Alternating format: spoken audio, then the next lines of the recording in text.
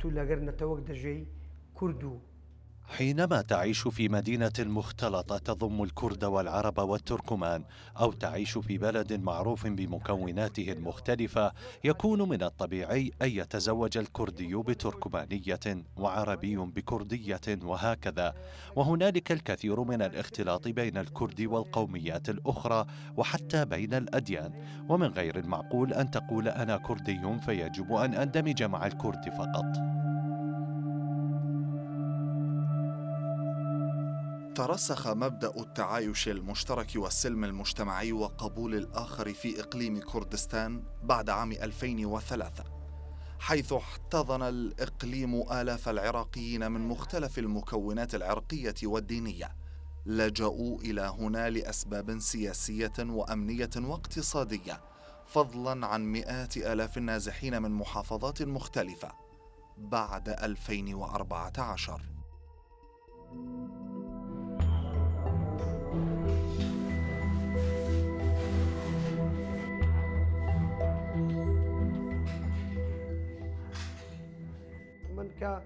ئافرەتە بە ڕێزەمێنە ئەو ئافرەتە بمفاجأة أبو يعني. لقد تعرفت على هذه السيدة العزيزة عن طريق الصدفة فقد كان لدي صديق طلب مني مرافقته إلى عائلة لطلب الزواج بابنتهم وفعلا ذهبت معه أنا ووالدتي وهنالك رأيتها. أعجبت بها وهي من أصول عربية. تحدثت إلى والدتي التي خاطبت والدتها ثم تطورت الأمور وخطبت السيدة آلاء التي هي زوجتي حاليا. في الحقيقة لم تكن لدي سابقا أي فكرة أو نية للزواج بفتاة من غير قوميتي ولكن كما تعلمون فالزواج هو قسمة ونصيب. في البدء تعرضت لبعض الانتقادات من الأشقاء والشقيقات وبعض الأقارب وعرضوا علي أخريات من القومية الكردية لكنني رفضت وأقطعتهم بزيارة منزل آلاء والتعرف على عائلتها. بعد هذا اللقاء وافقوا على الفور ووقفوا إلى جانبي.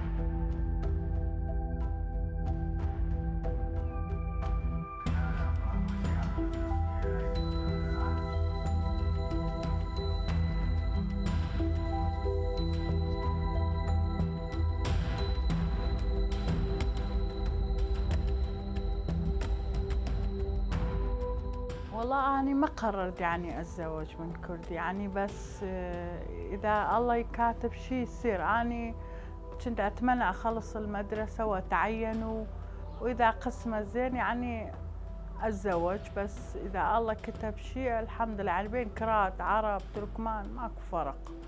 مهمة الإنسان يعني بحياته مرتاح وبين تفاهم بين الزوج. عائلتي بالبداية رفض الزواج من هندرين. بس بعدين من أني ردته وحبيت الزوجة فأبويا وأمي وافقوا. بعد ما اعترضوا. هو إذا واحد يريد واحد يعني لازم. إحنا يعني مو صغار. لا لأنه شفت العائلة خوش عائلة وأنا حبيت أتزوج إنسان يعني حتى لو فقير حتى لو ماكو بس أكون مرتاحة بحياتي.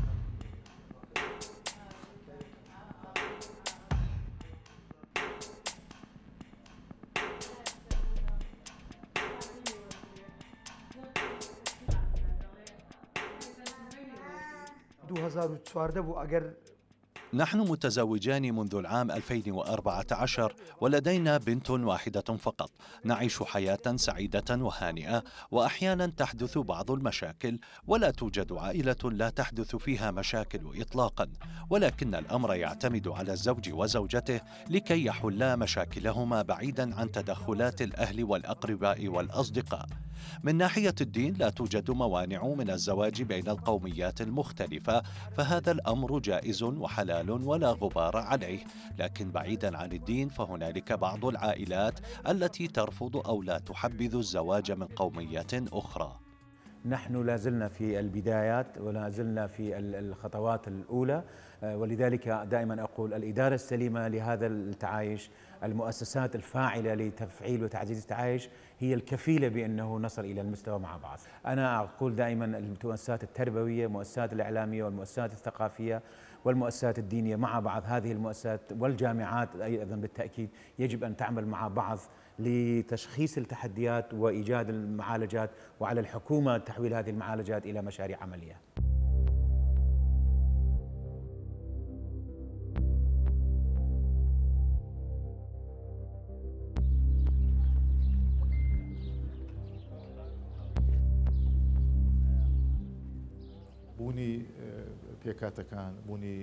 وجود مختلف المكونات الدينية والمذهبية والقومية في الإقليم هو أمر ممتاز حاليا.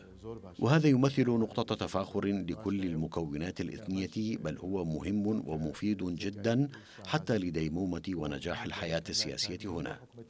حكومة إقليم كردستان العراق دعمت وما تزال التعايش السلمي وخاصة في الكابينة الوزارية الحالية. التي خصصت فيها وزيرا لوزارة شؤون المكونات في الإقليم واطلعت الوزارة بمسؤولية دعم التعايش المشترك هنا وتسعى لتصفير المشاكل الحساسة بين المكونات الدينية والقومية والمذهبية بالاعتماد على القوانين النافذة ومبادئ حقوق الإنسان. رغم أن العلاقات بين بغداد وأربيل شهدت بعض التوتر خلال الأعوام الماضية وزادت حدتها بعد الاستفتاء على استقلال إقليم كردستان عن العراق في سبتمبر أيلول 2017 إلا أنها لم تنعكس على السلم المجتمعي في الإقليم. الحمد لله لم تتأثر عائلتي بأية مشاكل سياسية حدثت بين أربيل وبغداد ولم نتأثر بموضوع استفتاء الاستقلال على الإقليم عام 2017 نهائيا. برأيي أن مفهوم تكوين العائلة يجب أن يكون بعيدا عن كل الانتماءات الدينية والعقائدية وحتى الحزبية. أنا مثلا أحب زوجتي ومتعلق بها فلماذا أسمح بمشاكل في بيتي لأسباب سياسية؟ وكذلك الحال بالنسبة لتلك العوائل التي لديها أولاد ينقسمون في الأفكار والآراء حتى علاقتي مع عائلة زوجتي وطيدة جدا ومتينة. زوجتي دائما تقف إلى جانبي حتى في الشدائد وعائلتها الكريمة أيضا لم تقصر في ذلك.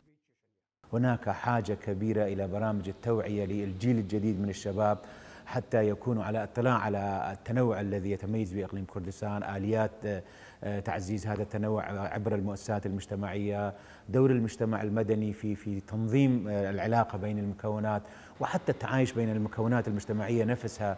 لا يزال هناك تأثير الحرب الكبيرة وتأثير الفكر التطرفي وما تركه تنظيم داعش على سيحتاج إلى سنوات طويلة حتى يكون هناك تعايش داخل المكون الواحد داخل فيما بين العرب بانفسهم عذرا على التسمية بين الشيعة أنفسهم بين السنة أنفسهم. آه، هؤلاء المكونات بحاجة أنه تفهم التنوع تقبل التنوع آه، تعزز التنوع حتى التعايش يبدأ من داخل المجتمع الأكبر إلى المجتمعات الأخرى.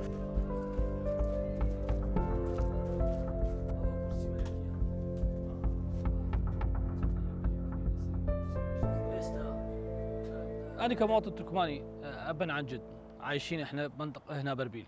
وبدون تفرقة مختلطين عن ويا إخوان الأكراد ويا إخوان العرب موجودين هنا كمسيحيين بدون تفرقة يعني نجي ونروح اعيادهم يجون اعيادنا آه، مختلطين تجاريا. وهذا الميزة الحلوة اللي جمعة أربيل إنه عايشين مع بعض بدون تفرقة. إحنا المسيحيين اللي تهجرنا بزمن داعش من الموصل وأطراف الموصل وجينا لهنا لاحظنا أنه هنا ماكو أي مشكلة.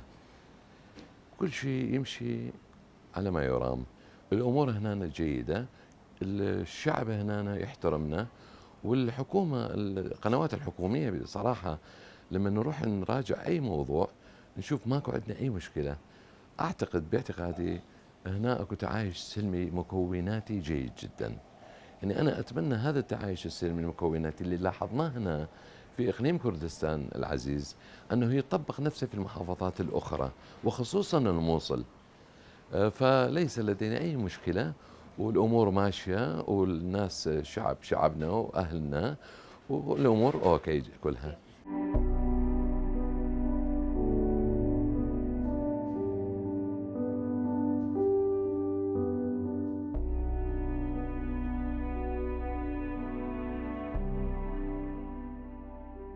بعد الفاصل. اختلاف الدين يقف عائقا بوجه الحب والزواج. وأيضا لماذا تواجه الفتاة الكردية اعتراضات من قبل الأهل والمجتمع عند الزواج بشاب من قومية أخرى؟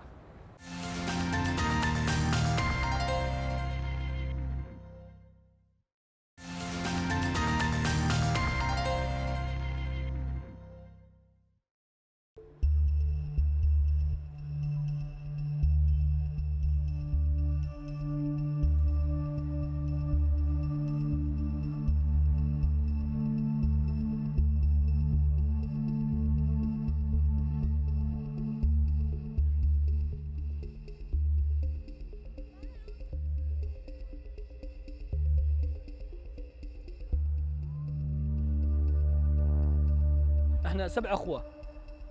إحنا ماخذين من العرب من طين العرب. ماخذين من الكراد ماخذين طين الكراد. من التركمان ماخذين. ومن طين الكراد ومن طين العرب هم. يعني زوجات اخواني اثنيناتهم عربيات وعندي زوجات اخواني اثنين كراد وهاني زوجتي كردية. والميزة الحلوة اللي بالتركمان اللي يجي عندنا نعلمه بلغتنا بحيث إنه ما بعد فترة ما يحس إنه هو من أي قومية. يعني مثل كردي يتزوج عربية أو عربية تزوج كردي هاي تسوي صله آه، تجمع بين الشعبين بين الطائفية اللي صايرة هسه حاليا. هاي يسوي يعني شو أقول لك تجمع إنه توخر الطائفية رسميا تمام؟ وأما المسيحية أو اليزيدية هاي هم يعني كلش حلو. صايرة صايرة بسنجار هم من طلعوا قاموا أكو بعض منهم استسلموا وزوجوا مسلم. وهاي يعني هاي يعني أنا كنظريتي أنا اشوفها هاي كلش زينة وكلش حلوة. التقاليد السائدة والثقافات المختلفة في مجتمعنا لا تتيح المجال أمام الزواج بين القوميات المختلفة وهذا الأمر ينسحب على العشيرة والعائلة وبالتالي يتأثر الأفراد بهذا التراث. أما فيما يخص الأديان فالموضوع مختلف قليلا وهو أصعب من الزيجات الأخرى بين القوميات المختلفة لأن بعض الأديان تمنع الزواج خارج الديانة. موضوع مادي دور العامل الاقتصادي مؤخرا لعب دورا كبيرا في كثرة الزيجات بين المكونات والسبب هو زيادة التكاليف والأعباء التي يطلبها أهل الفتاة من الشاب الكردي. لذلك يضطر الشباب للزواج من فتيات عربيات لأنهن لا يطلبن أموالا كثيرة. نجاح الزيجات بين القوميات والأديان المختلفة يعتمد على الزوجين لا غيرهما. ولكني أفضل الزيجات داخل القومية نفسها وذلك لضمان التفاهم والانسجام. أنا أتمنى أن يكون الزواج مدني وليس كنسي أو آه، عن طريق الشيخ آه، لأنه هنا تكون الأمور أسهل وأوضح. أعتقد هنا بإقليم كردستان جيد الأمور جيدة بس تحتاج إلى المزيد المزيد من الفهم آه، الحكومي الإداري للموضوع.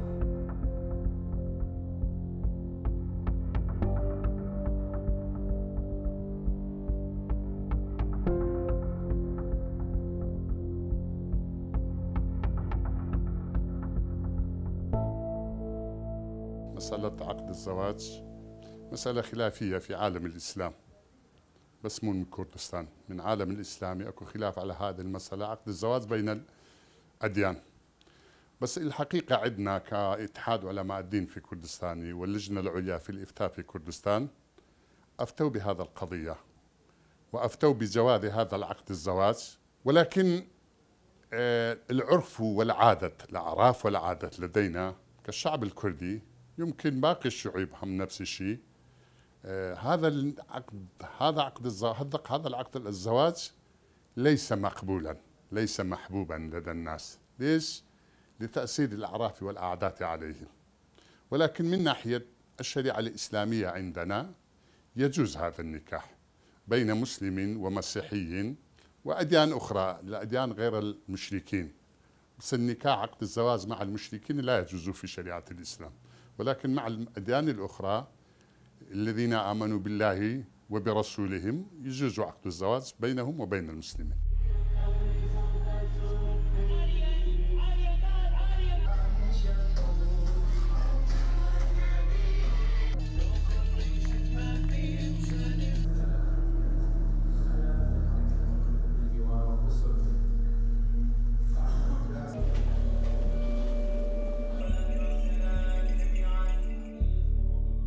كقانون الكنسي آه، إحنا نسميه الزواج المختلط. الزواج المختلط هنا هو زواج اختلاف الدين.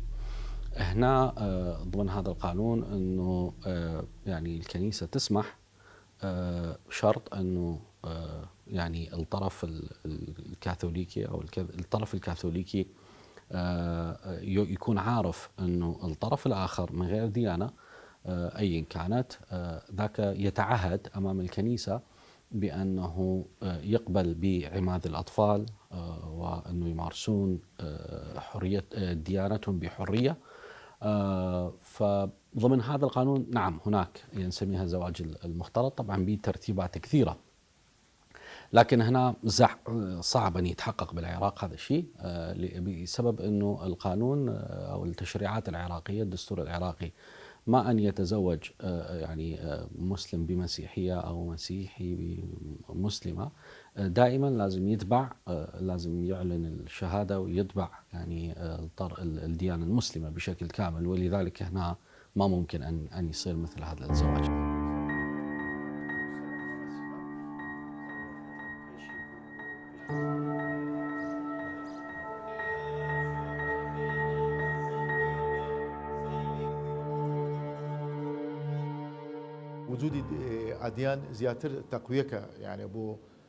لم يكن الدافع الديني عائقا للتعايش المشترك في إقليم كردستان يوما ما بل على العكس كان دافعا لتقوية التعايش.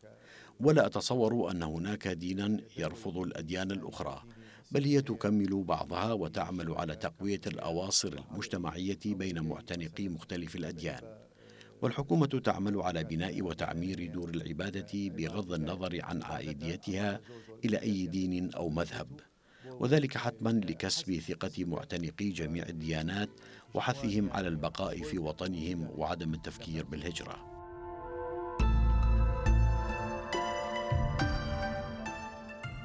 جميع المكونات الدينية في إقليم كردستان لديها ممثلين في وزارة الأوقاف والشؤون الدينية في حكومة الإقليم، بما في ذلك اليهود، إلى جانب خطوات أخرى أعلنتها حكومة الإقليم تحث على التعايش السلمي وقبول الآخر. قانوني آه، رقم بينزا قانون رقم آه، القانون رقم خمسة الخاص بحماية الأقليات في الإقليم والمتكون من أحد عشر بندا والذي صادق عليه برلمان إقليم كردستان عام 2015 يوضح كيفية وآلية التعامل مع المكونات في الإقليم وأكبرهما على الإطلاق هما التركمانية والسريانية الكلدانية الآشورية كمكونات قومية. وهاتان القوميتان مشاركتان في القرار السياسي والبرلماني بقوة وغير ذلك المكونات الدينية كالإيزيديين والصابئة والشبك وغيرهم والمعترف بهم رسميا من قبل وزارة الأوقاف والشؤون الدينية. الوضع العام آه، التطبيق العملي لممارسات التعايش السلمي نحن في وضع لا بأس به وفي وضع تحسن سنة عن سنة أفضل حقيقة في ثلاث اتجاهات. الاتجاه الأول الإجراءات اللي أعلنتها وزارة الأوقاف والشؤون الدينية بخصوص مراقبة الخطباء ومعاقبة أيضا بعض الخطباء. كان هذا أمر جدا مهم. الجزء الثاني الموافقة على تطوير المناهج التعليمية هاي كانت جدا آلية مهمة.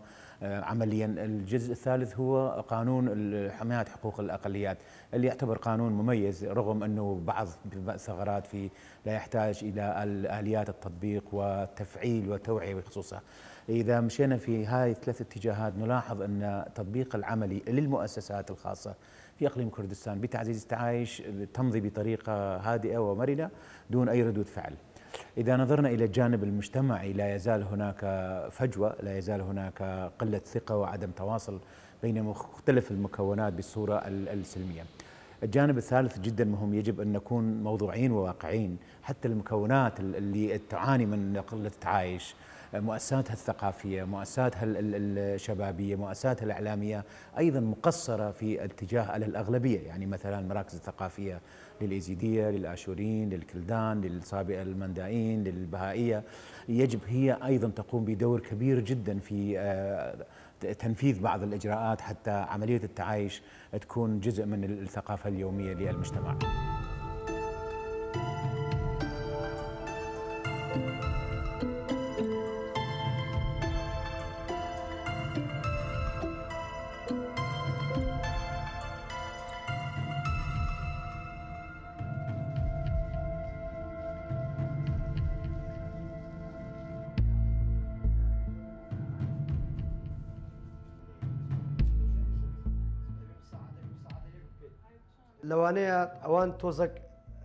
لدي أصدقاء كثيرون في العمل أغلبهم من التركمان كوني أعمل موظفا في قسم الموسيقى والفنون في مديرية الثقافة التركمانية التابعة لوزارة الثقافة في إقليم كردستان. تربطني بهم علاقات جيدة ونتبادل الزيارات العائلية ونشارك أفراح وأحزان بعضنا البعض. والكرد بطبيعتهم شعب مسالم ويحبون الاختلاط مع الآخرين ويثقون بالمقابل كثيرا. لهذا تجد حاليا الكثير من رجال وشباب الكرد يتزوجون فتيات من وسط وجنوب العراق بغض النظر عن انتماءاتهم القومية أو المذهبية.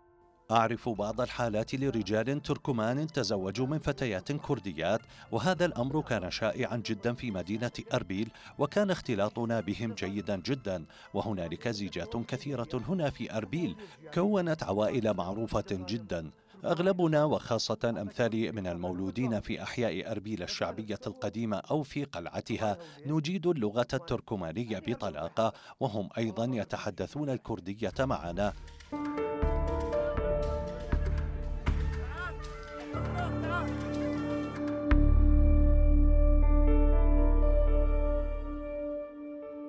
على المستوى الرسمي.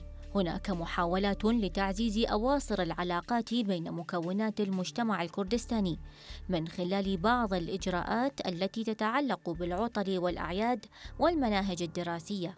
هي زياترها بيتو أبناء المكونات بحاجة للمزيد من الدعم السياسي ليكونوا أكثر ثقة بالعملية السياسية ومشاركين حقيقيين فيها مستقبلا.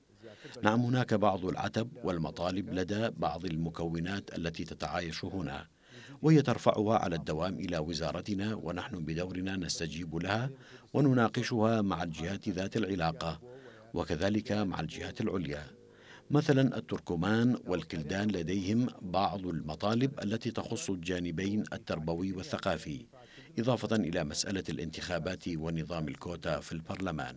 أكثر شيء في إقليم كردستان هي الخطابات الكراهية والتسقيط والتشويه على أساس الانتماءات الدينية آه، وخاصة ما ينتشر في ال social media جراء بعض التصريحات بعض التعليقات نلاحظ أن هذه الأكثر إثارة آه، وأكثر تصعيدا لأن هناك بعض الجهات تحاول توظيف هذا الشيء للنيل من استقرار في إقليم كردستان ولإشعال الفتنة أو آه، تصعيد عدم الثقة وعدم التواصل بين المكونات في إقليم كردستان. أيضا هناك في بعض الأحيان عدم الإدارة السليمة لبعض المناطق لبعض القضايا وعدم الشفافية في بعض الأمور تجاه الأقليات هي تشعر إنه الناس إنه لا يزال هناك الكثير من الوقت.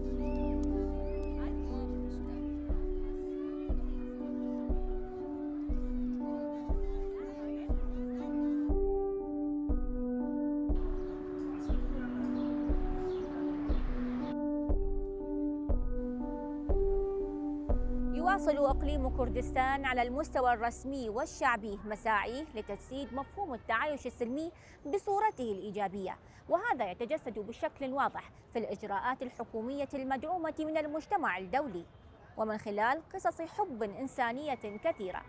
تشبه قصة هندرين الكردي وزوجته العربية. إلى اللقاء.